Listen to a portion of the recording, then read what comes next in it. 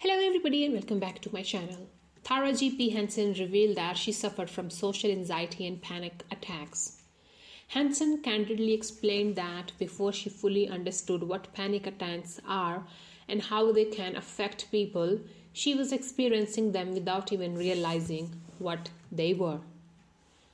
I was telling Tracy earlier that at one point I didn't realize I was having panic attacks. I thought I was having a heart attack.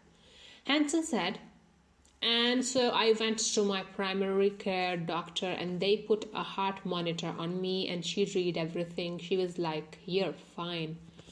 I was like, but I made me feel crazy because I know that I am having heart palpitation and then boom it hit me again and so finally i was like let me call my friend and she was like babe that's a panic attack Henson recalled Along with co host Tracy Jade, Henson chatted with beauty influencer Bretman Rock, who discussed his personal experience with social anxiety, how he's learned to manage it, and his hesitation when it comes to seeing a therapist.